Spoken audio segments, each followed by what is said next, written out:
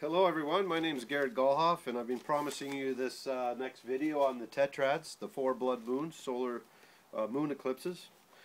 I've done one already, a video on the Shemitah. You could find it on YouTube if you uh, search the Shemitah September 15th, 2015 blood moons. I make my videos real short. I don't go into a lot of, I just give the facts. So here we are on this blood moons that are happening in the year 2014 2015. Uh, what it is, it's a tetrad. It's four blood moons in the same year. There's only been four in the last 500 years, and I'll get to that right away. Um, 1492, in the year 1493, during the Spanish Inquisition, was uh, uh, the blood moons, four, a tetrad. Um, Christopher Columbus who some think say he was a Jew, I don't know, but he escaped Spain and he helped find a safe place for the Jewish people during this this uh, four blood moon time span. 1947, 1948, we all know was near the end at the end of the Second World War, and Israel became a nation in one day. That was uh, another uh, tetrad, four blood moons in one year.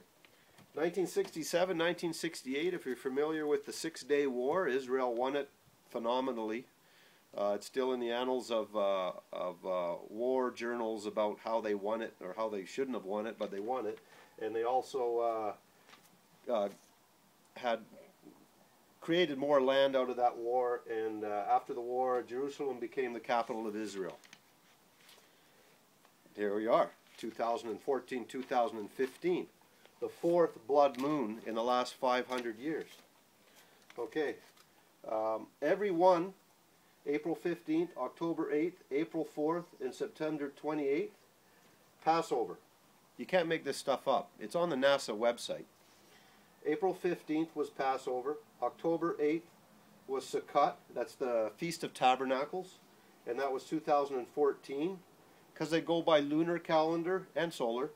Uh, the days vary to the next year, but you could see that April 4th of this year, Passover, was a blood moon, and that's that's 10, 11 days behind the one in 2014, and then September 28th, another 10 days behind October, was Sukkot, another Sukkot, Feast of Tabernacles. I mean, you can't make this stuff up. It's exciting. Um, also, there was a partial, there's going to be a partial eclipse this September 13th, which is the last day of the Shemitah, the 29th uh, day of Elul. And then it jumps into right away um, uh, Jubilee year, which is a whole nother video. I'm going to get to a couple more videos. So there you have it, some facts right there. I'd also like to say this. March 20th of this year, 2015, there was a, a total solar eclipse, not a lunar eclipse, a solar eclipse and that day was the exact center of the Shemitah year. The exact center.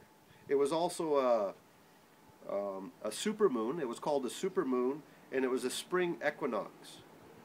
I mean, dates, God's calendar, God's timetable, call it whatever you want. I'm just giving the facts here.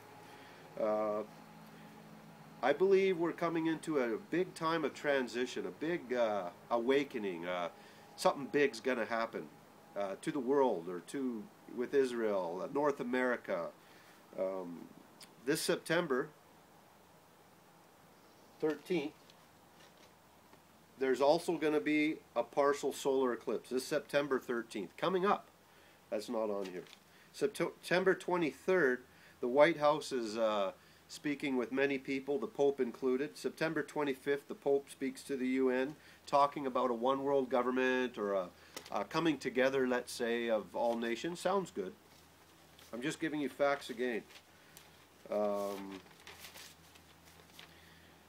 my next video will be good too. I'm gonna put these ones close together on YouTube and my my uh, my Facebook page and whatnot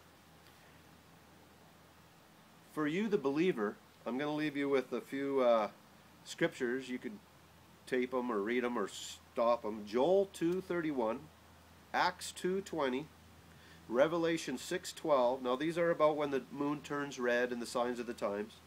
Uh, also read Genesis 1:14. And uh, I'm trying to make these videos short and sweet and uh, get all the facts I can instead of run it for two hours or an hour and try to make it simple to understand.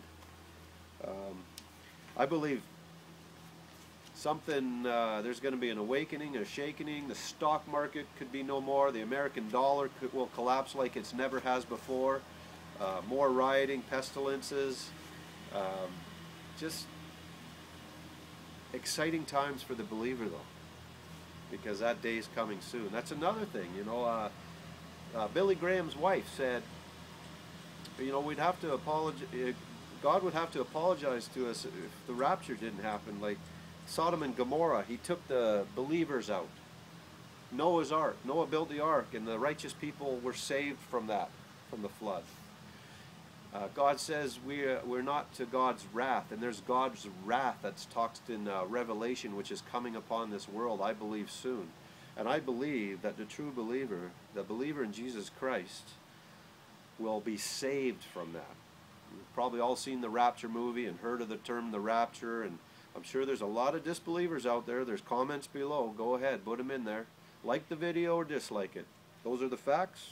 My name's Garrett Gahoff, and I hope you have a great day. Wait for my next video.